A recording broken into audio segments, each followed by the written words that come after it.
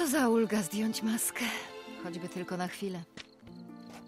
Będziemy mieć stąd dobry widok. I nawet jest wino. Tak strasznie dawno nie byłam na żadnym przyjęciu. To naprawdę miła odmiana po nowigradzkich kanałach. Czy to w takim razie dobry moment, żebym cię zapytał Tak? o tego czarodzieja, którego to spotkaliśmy? A, Amorice. Co chcesz wiedzieć? Miałem wrażenie, że nie przepada za tobą.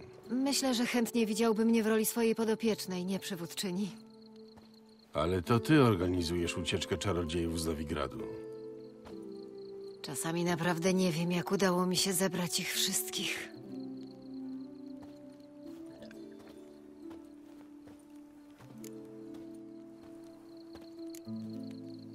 To kwestia twojego uroku osobistego. Uważaj, to brzmiało prawie jak komplement. I dobrze. A, czyżbyś próbował. To się dzieje.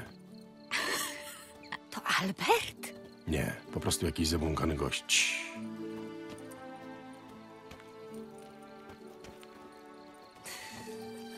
Pewnie szuka swojej towarzyszki. W tej elfiej bajce o żabiej pliszce. Inchu, inchu, bak, brocha, pomalutku mała żabko. Ci, ci, chodźmy stąd.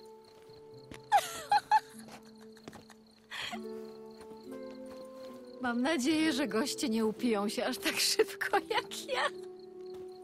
Im szybciej się stąd wyniesiemy, tym lepiej. O nie! Mam zamiar najpierw dokładnie obejrzeć sobie ten ich słynny labirynt. Podobno mają tam rzeźby. Całkiem, całkiem. Całkiem co? Całkiem go!